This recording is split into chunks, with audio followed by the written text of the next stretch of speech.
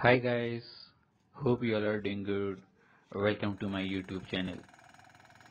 Today in this video, I'm gonna show you how we are going to do the backfilling for our culvert and then after that we should do casting of concrete in the base of apron. So guys, here you can see that we are using plate compactor after carrying out the backfilling on both sides of our culvert. We had to use this plate compactor in order to properly compact the laterite.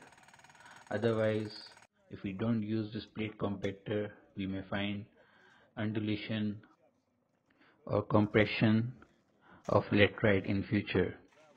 So guys, here you can see that we are casting concrete in the apron we left this place because, this area was used as the diversion. However now after doing the backfilling on top of the decking of our culvert now we have started casting concrete in the apron. So thank you so much for watching this video. Don't forget to subscribe to my channel. Bye bye